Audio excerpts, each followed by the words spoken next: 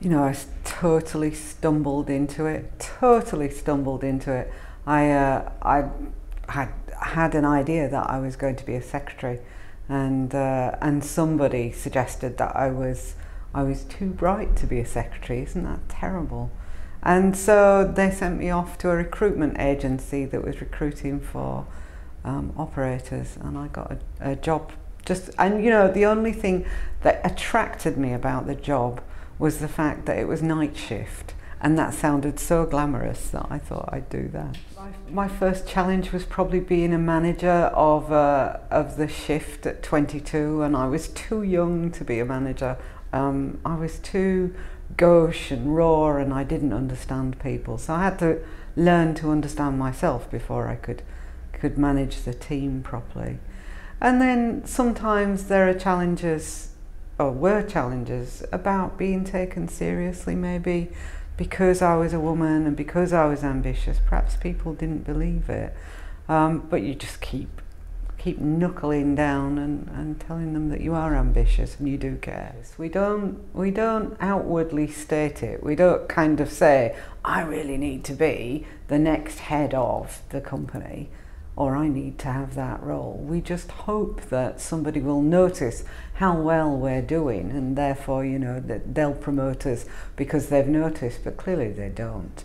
You do need to, you do need to do some work and tell people that you care. You know, if, you, if you're a, someone who enjoys problem solving, then it's all there for you. And if you're somebody who enjoys the latest technology and seeing where the world's going, then that's there for you. And if you've got a bit of a scientific, technological bent, it's just such a buzz. It's such a buzz. I, uh, I wouldn't change having been in the technology profession for the world. I, I guess they might be uh, completely um, taken in by this geek image and yet uh, just recently geek has started to have some status, some kudos. But, but really, we're not all geeks. You know, absolutely, the industry is full of different types of people. And I don't think women often realise that.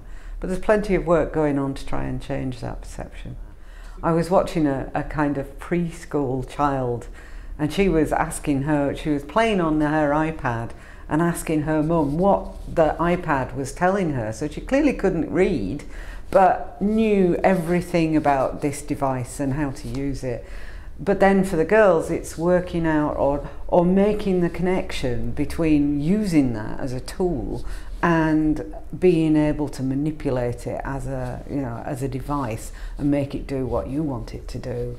Um, and you know the programming and the aspects of maintenance and selling those those tools. I, I think we're going a long way. I mean, you you look at some of the things that are happening at the moment. Uh, Maggie Philbin has got the TeenTech um, work going on, and great numbers of children are getting involved in technology, and she cares that there are women in or young girls in there as well which is fantastic. Wise is doing a lot to bring uh, girls into science, technology, engineering. And we at the BCS are doing our utmost inside BCS Women. So um, we, uh, we did a, an event around careers for women and we brought the teachers in to tell them what kind of careers there could be because we know that the teachers are the careers advisors.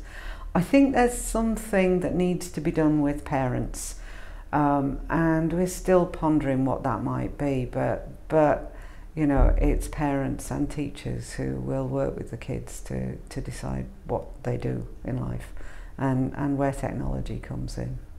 Just go for it. That's it, just go for it. It's just fabulous. I, uh, you know, in my life I, I got sent to America to write some books I fixed problems for hu humongous organisations, you know, like Citibank, one of the biggest banks in the world, and I fixed their computer systems way back in 1985 in the middle of the night by myself. And you know, you kind of don't think about it and you just do it. But afterwards you think, oh, all of that system depended on me being there alone, fixing it and making it go. How proud can you be of that?